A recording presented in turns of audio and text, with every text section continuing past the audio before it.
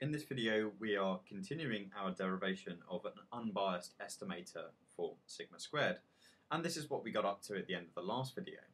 So we've got the trace of mx times mx primed all times sigma squared. So let's just remind ourselves of what mx is.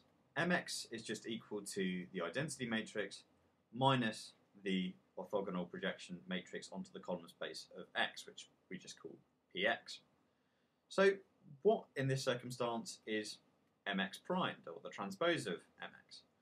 Well, it's just going to be equal to the transpose of the identity matrix, which is just the identity matrix, minus the transpose of px. But what is the transpose of px? So px we know is just equal to x times x primed x to the power minus 1 times x primed. So when we take the transpose of this whole thing, we're taking the transpose of this expression on the right here, and when you've got the transpose of a product, essentially what happens is the order inverts. So the first term is actually going to be the transpose of x transpose, which is just x.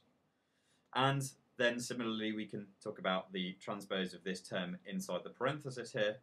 Well, again, they're just going to invert, but we're going to be left with exactly the same thing. So we're just going to have x prime x all to the power minus 1, and then the final term is just this first term all transposed. But I hope you can see that this is just our original um, orthogonal projection matrix P of x. And so mx is unchanged by taking the transpose. So that means that mx is equal to mx primed. Okay, so that's helpful. But this expression here is essentially mx times itself. So what does that actually equal?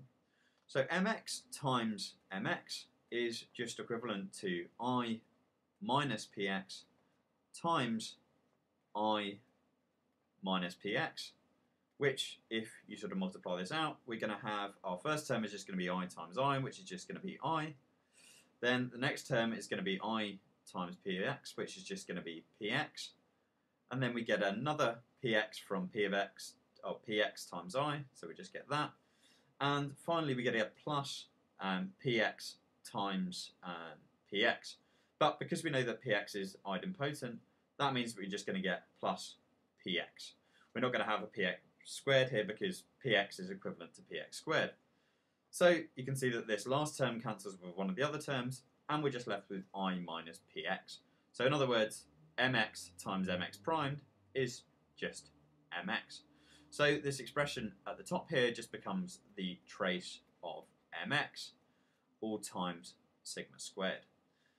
And I promised in the last video, in the next video rather, we're going to finish our derivation of sigma hat squared.